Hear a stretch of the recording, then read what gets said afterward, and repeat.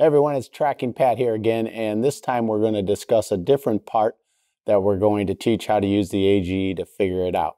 Now you'll notice when you look at this print that I've got some angled lines, I've got multiple arcs that are all tangent to one another, a minimum amount of information that I need on here, and also some really bad skills at whoever drove where all the numbers come from. And so uh, we're going to also show how the ProtoTRAK RX can help you with that stuff as well, okay? Now, um, I did want to mention that, uh, you know, if you haven't uh, subscribed to our channel yet, it may be a good idea to do that sometime soon because then you can follow one segment after another and go on YouTube and get them all in a row. You do kind of need to look at the first segment of this in order to understand how I describe the geometry itself, but we're going to get right into the programming, okay? Zero, zero on this piece part is going to be right here, and I've already got that in my first event, so I'm just going to swipe forward. And all I have is a standard milling event at first. So I'm going to go to a milling event. My X is going to stay at zero. And my Y dimension is 0.88. I'm going to have an OK right away and just swipe forward. All right. My next milling event is not tangent to the first. Again, one milling event can't be tangent to another. There has to be an arc involved. Okay. My X dimension is not on my print, so I'm going to use the guess button, and I'm just going to shrink my screen a little bit and move it over so I got a little room here, okay? So I'm just going to touch here push enter, and then it says, what else can you tell me? There's a Conrad on here of a half an inch. I'm going to put that in there, but I don't know the length of the line. And I do know the line angle, but it's pointing straight at zero. And because both Y dimensions are already in here, the x-axis is actually going to get it correct. Actually, let me take one step backwards. Sometimes when you use guess on both dimensions, you'll actually get them both filled in and you only need one. So I just went back to change that. So I'm going to swipe forward and I've got another milling event. This milling event is also not tangent and my X and Y numbers don't, are they're not on the print. Now, according to the rules, if you really understand AGE, it can figure out a tangency whether you guess or not. But I think for simplicity, using the ProtoTRAK, it's a little easier if you do. So I'm just going to guess and say it's somewhere about up there. Push enter my guess. And then it says, what else can you tell me about this? And you'll notice on this print that there's a 70 degree angle and it's showing you from zero being here, if I swing up forward in positive degrees, it's 70 degrees. So that would go in the last question here. And then I would move on. You see it's starting to draw, right? So now my next thing it's asking me is for um, an arc. So I select arc, it says, is it tangent? And it says, yes, it is. So I turn that button on, hit the set key. It's a clockwise arc. And again, I don't know where it ends, all right?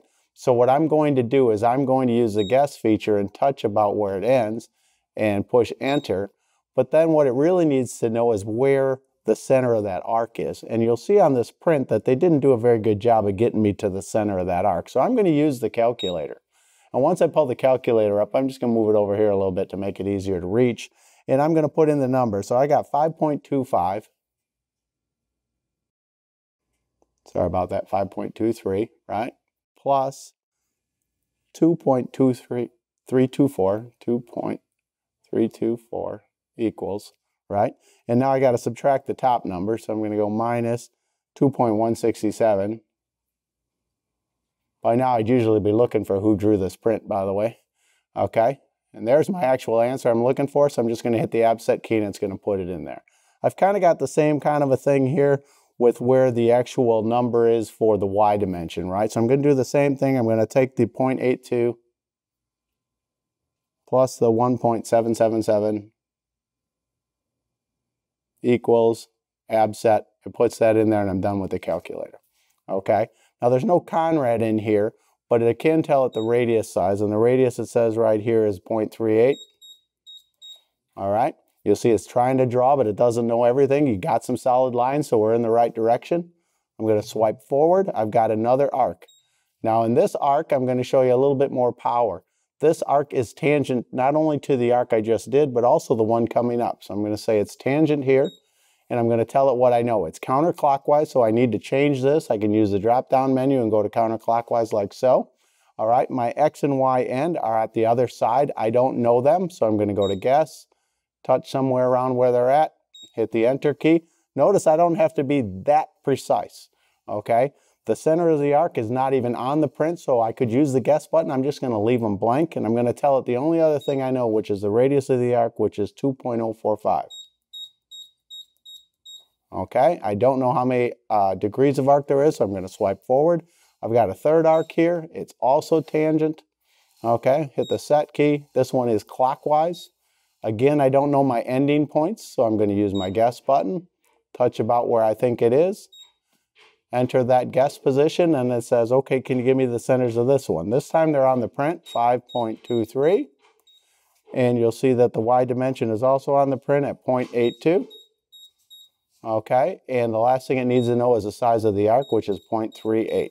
Okay, notice that it's starting to really come to the way it's supposed to be. I've got one more piece here before I get to solid information. As I've described before, whenever I get to solid information, it should all show up and say okay. So I've got a tangency of this line to the previous arc. My x ends at the dimension of 5.23 minus 908. So I'm going to go to my calculator again. And I'm going to put that in there. Five, whoops, that's wrong. 5.23, whoops, minus 0.9 zero equals. That doesn't look right, does it? One more time. So let me see here. I must hit a wrong number. 5.23 minus 0.908. That looks right. Abset, close that. Okay, my y ends at zero. You notice right there the geometry looks correct. And the last piece of geometry is very simple. I've got a milling event. It's not tangent. It goes back to zero. The Y stays at inset, and there's my completed part.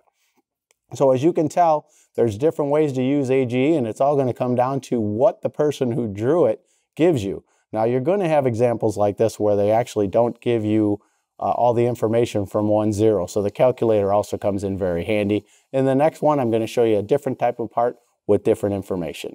Thanks for watching. Howdy y'all, it's TRAKing Pat from TRAK Machine Tools here with my lovely wife Wanda both wanting to thank you for watching all of our videos. As always, we really like it when you give us the thumbs up. If you haven't subscribed yet, just push this button right here. If you'd like to watch the next video in the queue, of course, hit the one over here. Before we take off to go to the honky tonk, we just want to remind you, as always, to keep on tracking. Yeehaw!